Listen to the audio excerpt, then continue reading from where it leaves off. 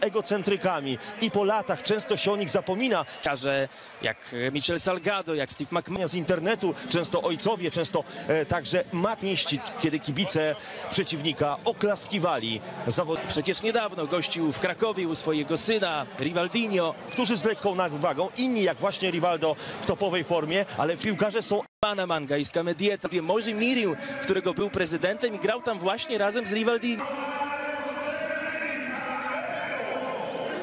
Czy też Olimpik Marsylia to jest zawodnik, który jako wychowanek Realu w rywalizacji, którą określamy jako starcie legend. Także przez nas widziany, on był częścią tego składu reprezentacji Hiszpanii tej To taka postać bardzo trudna dla jednego wybitnego Bardzo kojarzona z Racing. przede wszystkim z bramki zdobytej na Łasienkowskiej, rzutu karnego w meczu eliminacji Celta Barcelony. Absolutnie nie, chociaż występował tutaj pod koniec lat. W barwach Realu Madryt już był tak naprawdę tylko rezerwowy.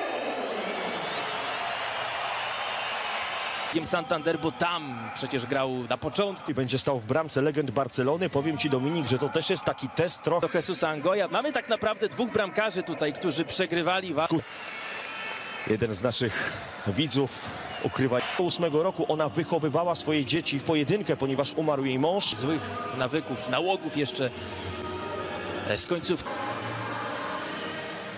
Zachęcamy do udziału w dyskusji. mistrzów Anhoi, Soler, Arpon, Mendieta, Dyłu, także Ja to raczej występował w środkowej części boiska i był nawet takim prototypem drużyny Barsy. Były zawodnik tej drużyny, który zdobywał z nią Puchar Europy. wyjściowego składu, który mieliśmy na Grawice, także Javier Pedro Saviola został zwolniony. No i mamy też taką postać łączącą Ligę Włoską z Ligą Hiszpanie w Lidze Izraelskiej. No i dzisiaj została postać, którą także pamiętają na pewno ci, którzy przypominają sobie w jakiś sposób. E, ważnym miejscem w najbliższym czasie, bo też na początku sierpnia tutaj już Ale Deko, który przywiózł kilkanaście kilogramów obywatela więcej na boisko, chyba najpiękniejszą bramkę w swojej karierze zdobył przeciwko e, Barcelonie. będzie przyjęty podczas meczu przy każdym kontakcie z piłką w sposób Teraz Alfonso, Alfonso, ale ten strzał niecelny.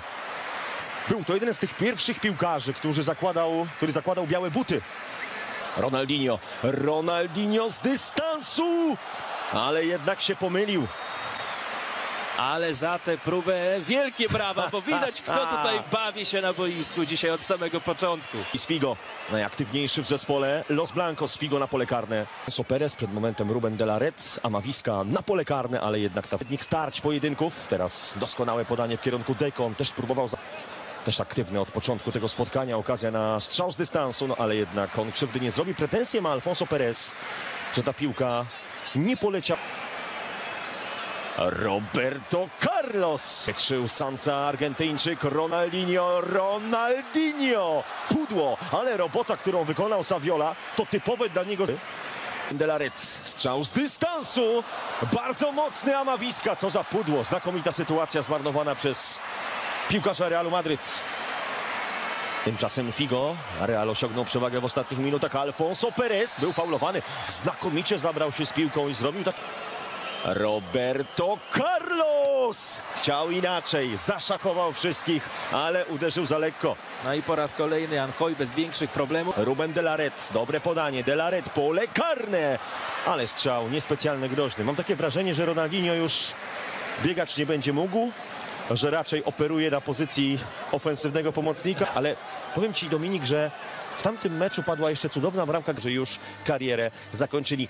Powiedziałeś o Iwanie Zamorano. Trójka dzisiaj w Barcelonie robiła najwięcej wiatru, szczególnie Taki epizod również Roberto Carlos miał i z tego co pamiętam No i rozpoczynamy drugą część tego spotkania. Jedna.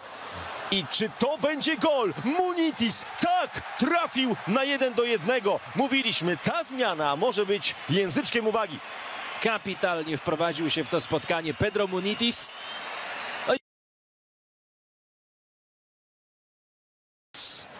Pedro Munitis na pole karne, Alfonso i to jest piorunujący początek drugiej części meczu. Munitis zrobił przez 4 minuty kapitalną robotę. No i okazuje się, że dwaj zawodnicy, którzy trafiali na Euro... A może Ronaldinho? Ronaldinho! No, pamiętamy. Mecz z reprezentacją Anglii na mundialu w 2000. Zobaczyć jeden jego sprint, jeden kontakt z piłką, by mieć takie wrażenie strzał z dystansu, ale niedokładny Rubena de la Reda. 51 minuta, okazja na wrzutkę na pole karne. Jest tam Javier Saviola, nie pilno w przerwie, ale ma piłkę pod nogami. Zagrywa w obręb pola karnego i to źle nie było. Dośrodkowanie na pole karne i Sanz z Blindem, z wieloma innymi graczami, jak Jesus. Velasco tymczasem ma Mawiska w polu karnym, zatrzymany w ostatniej chwili powrót jeszcze po tę piłkę kolejnego zawodnika z numerem 7, takiego domionie. To się odmieniło. Niedokładny strzał z dystansu i dla Barcelony Koko, pole karne, Francesco Koko! Co za gol! Co za akcja! Z taką energią jak Spinazzola na Euro. Czapki z głów. Na e, oglądanie tego finału, kiedy włączyłem, to akurat była Muniti z prawą nogą. Ten króciutko w kierunku Mendiety. I za... na dobrze, bo wtedy Real Madryt pokonał Barsę 5 do 0. I nawet on teraz jest MVP na boisku Munitis. Munitis! Barcelony, ale tym mniej ważne, o nim za chwilę. Teraz Munitis w polu karnym.